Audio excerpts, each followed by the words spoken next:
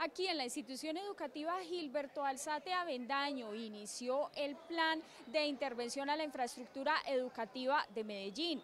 En esta institución, 1.543 estudiantes se verán beneficiados con estas intervenciones, para las cuales fue necesaria una inversión de 12.700 millones de pesos en obras y costos administrativos.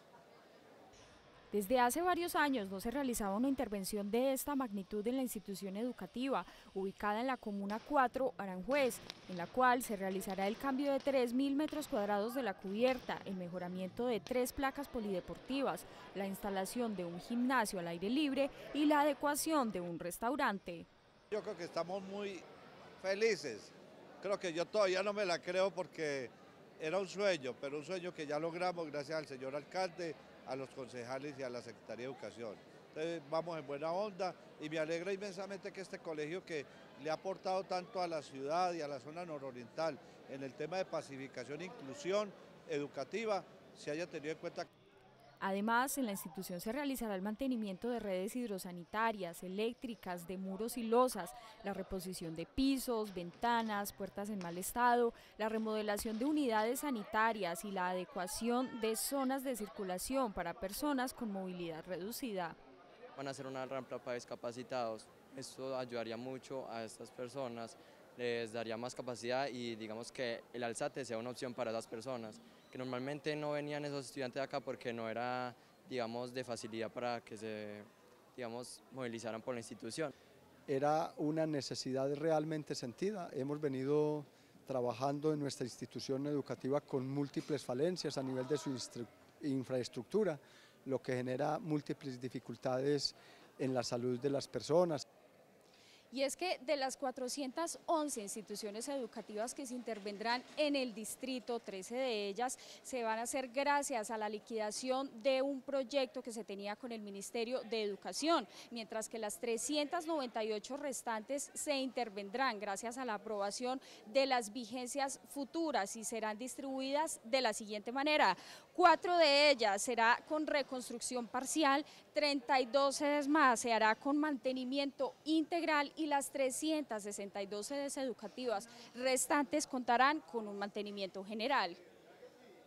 Para estas intervenciones se contó con una inversión de 336.800 millones de pesos y además de la institución educativa Gilberto Alzate, en marzo iniciarán los trabajos en otros 18 establecimientos en las comunas Popular, Santa Cruz, Manrique, Castilla, Robledo y Villahermosa y los corregimientos San Cristóbal, San Antonio de Prado y Santa Elena.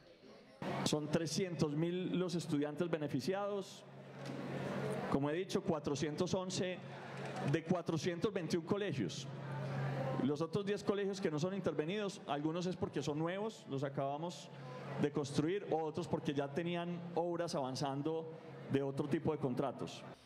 Además de las 411 instituciones educativas que serán intervenidas, actualmente se está realizando mantenimiento a 281 unidades deportivas, se intervendrán las 55 unidades hospitalarias y 44 de buen comienzo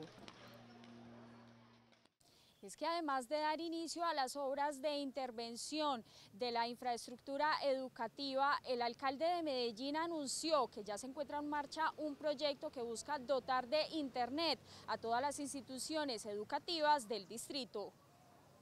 El proyecto, según indicó el mandatario, tendrá una inversión de 206 mil millones de pesos y cuenta con la participación de varias entidades privadas y públicas.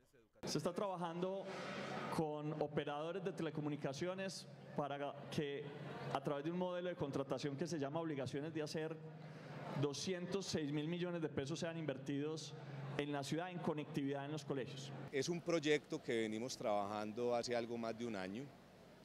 Eh, es un proyecto muy importante de ciudad, es un proyecto que cuenta eh, con el concurso de muchas más instituciones privadas y públicas del orden nacional, em, que estamos ya como en el punto de, de definirlo y de darle esa buena noticia a la ciudad.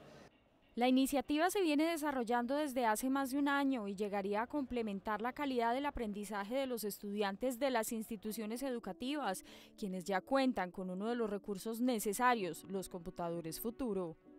Correcto, mira, dentro de la institución los grados de 11, el grado décimo, noveno, octavo y en este momento séptimo que están con los, con los equipos que la alcaldía donó por políticas de seguridad.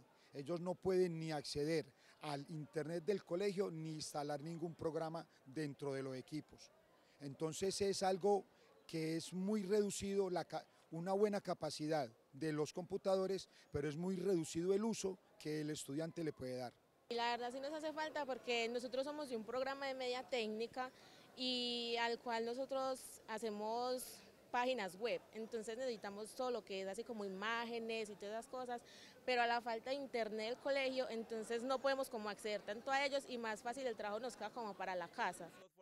El proyecto ya está conformado y se están ultimando detalles de presentación ante las entidades nacionales.